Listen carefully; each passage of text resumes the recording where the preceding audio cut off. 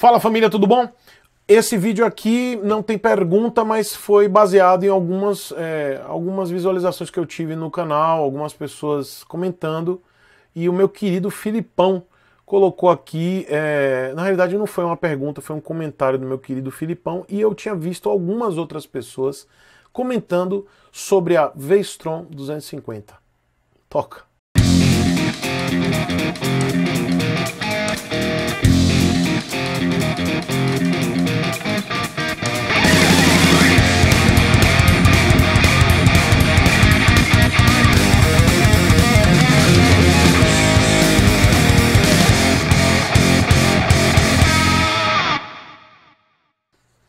Bom, pessoal, o Filipão colocou aqui o seguinte: eu vou ler o que ele escreveu. Pô, Chicão, dois anos depois ainda estamos à espera da V-Strom 250. Merecia até menção. Aí ele coloca aqui o tempo tal. Hoje, pelo mercado e os preços praticados, eu não mantenho mais os 18 mil que ele tinha comentado dois anos atrás sobre a V-Strom 250. Tinha falado esse preço para poder pegar o mercado.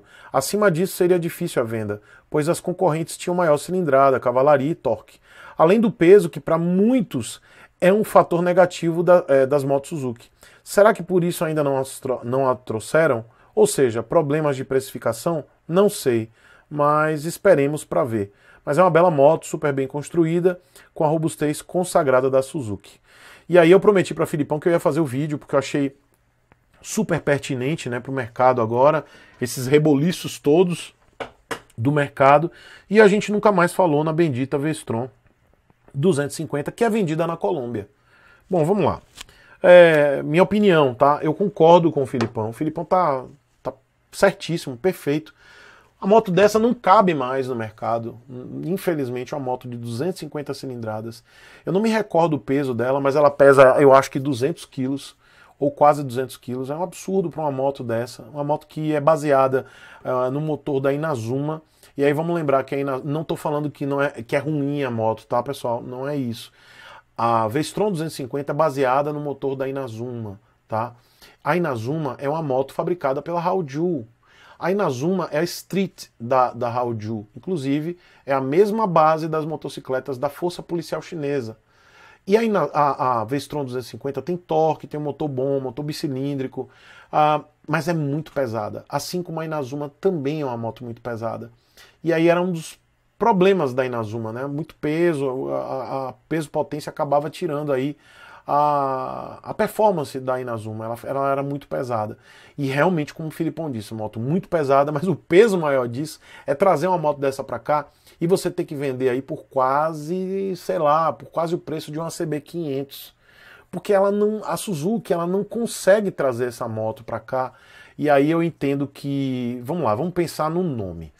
Se ela é fabricada pela Haoju, por que, que a Haoju não traz para cá a V-Strom pela Haoju mesmo? E aí conseguiria até um transformá-la numa moto de baixo custo tal. Porque a V-Strom é uma marca da Suzuki. Então fica inviável a Haoju trazer para cá uma marca, uma moto que é da, da a marca da Suzuki. Então a V-Strom 250, mesmo sendo fabricada pela Haoju, ela é uma moto Suzuki tá? Então a Suzuki teria que trazer para cá e aí você tem impostos, você tem o custo Brasil, você tem aquela coisa toda para uma moto de 250 cilindradas, pesando quase 200 quilos, se não mais de 200 quilos. Uma moto que demorou muito, perdeu o timing, perdeu o tempo de vir. O tempo certo dela ter vindo para cá era dois anos atrás, no máximo no máximo. Ano passado já, já perdeu. Então ela teria realmente até lá, dois anos atrás, se ela tivesse chegado aqui pelo preço que o Filipão falou, 18 mil reais, estaria competindo aí com a Himalayan, estaria competindo aí, pegando aí uma fatia que a, a própria uh, Teneré deixou. Então acho que dois anos atrás, mais tardar aí, um ano e meio atrás, ela estaria aí vendendo algumas unidades, mas se ela fosse realmente vendida a até 18 mil reais. O problema é que a Suzuki ela não consegue trazer motos para cá por um valor tão baixo.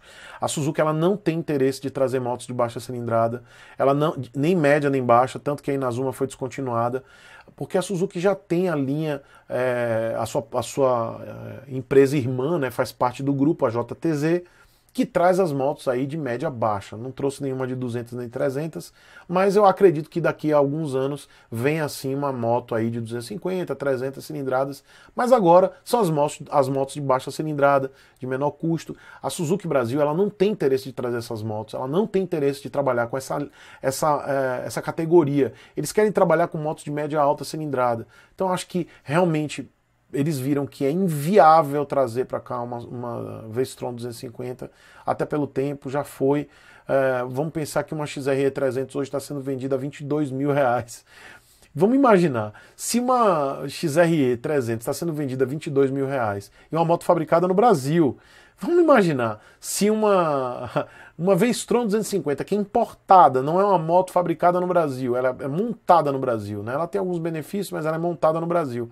Quanto é que ela vai chegar? 25 mil reais? 26 mil reais? É melhor pegar uma Versys X300, que é bicilíndrica também. Lembrando, a Vestron é bicilíndrica, tá?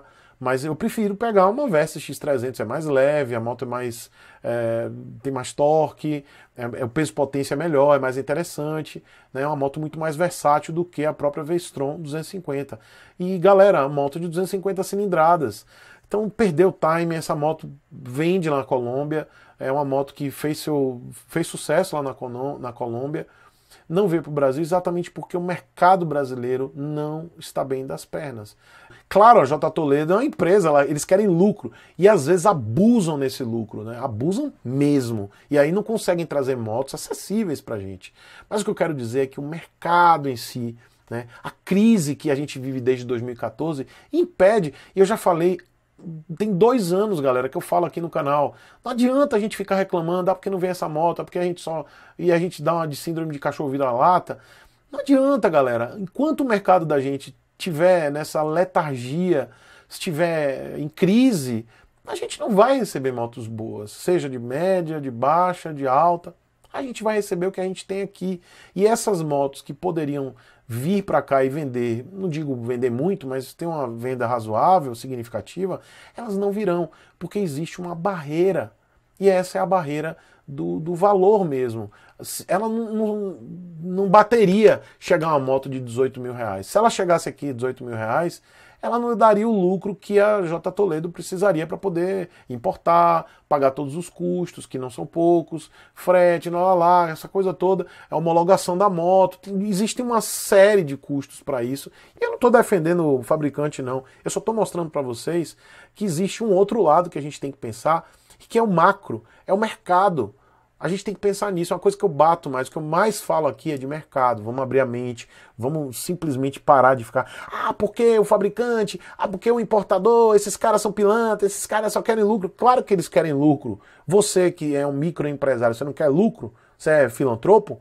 Não, o cara quer lucro. Agora, se o cara quer um lucro muito acima do que ele pode ter, ele vai comer pedra. Ele não vende a moto. E geralmente a galera da Suzuki, da J Toledo, eles querem muito lucro essa moto não vai dar muito lucro, entendeu? Não vai dar. Porque é uma moto que vai chegar no mercado, vai ter que ser vend... vai ter que ser. É, o, o, público vai ter que aceitar a moto, vai ter que ver se a moto é boa. Enquanto a XRE já está aí, nadando abraçado, os caras estão vendo. É a moto mais vendida da categoria. Para bater essa moto, vai ter que comer muito feijão com arroz. E aí você tem a Teneré, saiu de, saiu de linha. Você tem a Lander, tá vendendo bem a Lander, tá vendendo bem, por quê? Os caras botaram um preço aí legal. Mas é uma moto de ato, é uma moto meio termo, é uma moto que vai sair. A Lander vai sair, galera. Não vai ficar nesse eh, eh, esse holofote todo, não. Pode até ficar a Lander, tá? Tô falando que vai sair, mas vai sair desse holofote, é isso que eu tô querendo dizer. Porque vai chegar a Teneré 320, vai chegar.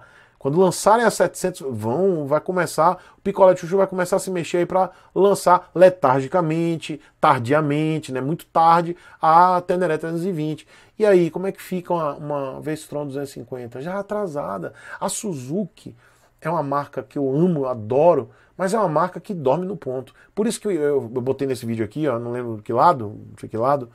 É morta viva, pô. Os caras lançam, pra você ver, várias motos foram, tiveram que ser descontinuadas na Europa porque não atendia ao Promote. Porque a Suzuki parou no tempo. Produz motos excelentes, mas para no tempo. Os caras não, não correm atrás. Né?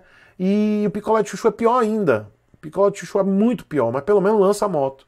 Enfim, Acho que a Vestron 250 não vem para o Brasil, não vem mesmo. Se vier, vem no valor absurdo, vai ser um tiro no pé, não vai vender.